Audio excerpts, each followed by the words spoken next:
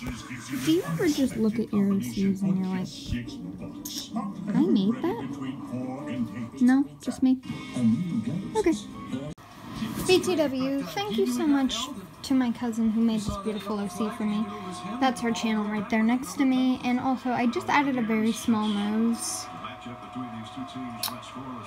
Cousin, I'll show you exactly the nose size. One second.